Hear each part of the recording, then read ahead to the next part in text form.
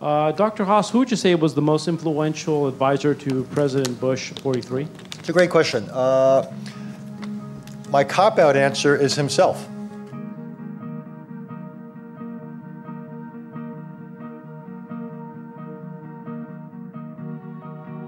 Uh, hi, my name is Stewart Howe with a group called We Are Change LA.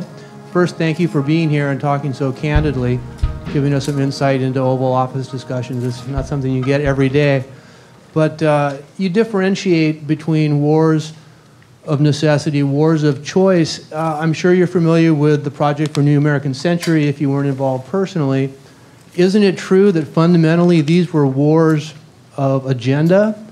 And isn't there actually an agenda uh, driving us under the guise of this or that for, for, for empire, for, uh, you know, you put it as spreading democracy when we're actually a constitutional republic and our constitution is being dismantled in this process. It's very alarming to a lot of us. I'm hoping you could speak to that.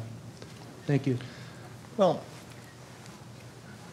I find the wars, again, fundamentally different the first war and what in general wars of necessity, as I said, are where you have vital interests and where you don't have alternatives. In this case, it was really for, for fundamental reasons of regional and global order. I'm comfortable with that as a foreign policy goal.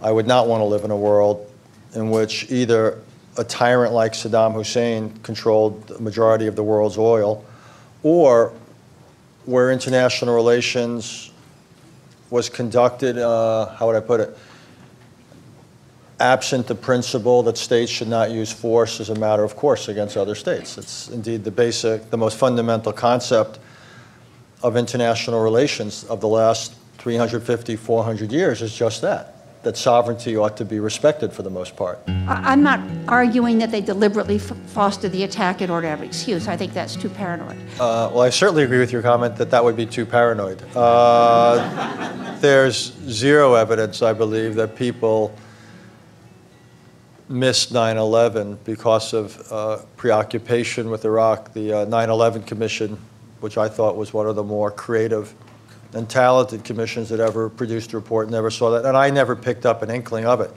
That said, I, I know what Paul O'Neill said, and it's true to some, in the sense that there were people who, from the get-go, had an agenda about Iraq. I, I didn't sense it was high up on the president's list early on, and it's one of those counter-historicals. Had 9/11 not happened, would the Iraq War have uh, happened or not? I don't know the answer to that. Uh, I think the odds are against it, but I wouldn't rule it out. Uh, I would simply say what, what's clear to me is that 9 11 totally changed the political and, more important, psychological context. And that's where I said, at one point, I described the, the administration as a hammer looking for a nail after 9 11, and Iraq became the proverbial nail. They were looking for a vehicle to make a statement and Iraq was the, the vehicle to do just that. And uh, so even had 9/11 that had, I'm sure there would have been advocates for going to war against Iraq, and for all I know, Iraq would have given us provocations or whatever. Uh, but 9/11 certainly made it far. I mean, obviously it, it brought it about, and it made it it brought it about much sooner. And so I really do think it, it changed fundamentally the debate.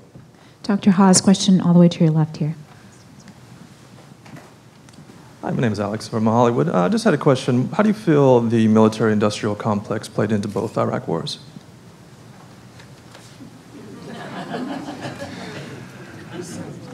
I don't believe there are things like the military industrial complex that force decision making. The first war, people weren't looking for a war in 1990 what I called the war of necessity was a very close run thing. And that was even after the UN had voted in support of it. Still then, it barely passed the Senate by more than a handful of votes. So I didn't see any, there was no powerful military industrial complex lobbying for that war.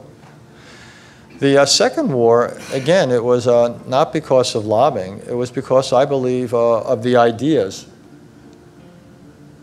of a group of individuals. I actually think that history will look back at the Second Iraq War in some ways that it looks at the Spanish American War. as a, a war that to some extent was brought about by policy entrepreneurship on the part of individuals who had a, a certain agenda. So it was not to enrich or strengthen a military industrial complex, but it was to basically promote a set of objectives of the United States in the world. Again, uh, coming back to where I began, I think what really makes history are people and ideas. Uh, so it's not the, with all due respect to Mr. Eisenhower, it wasn't the military industrial complex. I guess uh, you've said two things here tonight that are surprising to me. Uh, the first is that. Uh, Is that a compliment or a criticism? I don't know. Uh, uh, the first is that history is, in, uh, inev- is not inevitable. And the second is that you do not believe that the military industrial complex exists or is influential on how we you know, um, go about our business. Um, and the reason those are surprising to me is because when you have people such as Dick Cheney, Paul Wolfowitz, um, the Bush family, uh, Saudi Arabia, uh, royalty family, are involved in both the first Iraq War and the second Iraq War.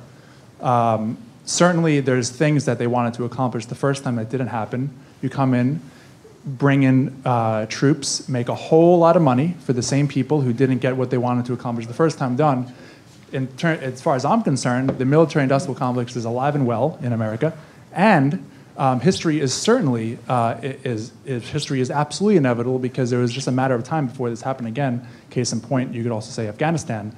No one has ever conquered Afghanistan, so history should teach us the inevitable result is that we will be destroyed and we will lose an unnecessarily um, large number of troops. So I guess my question is, um, how could you how could you um, say that history is not inevitable and that the military-industrial complex does not exist?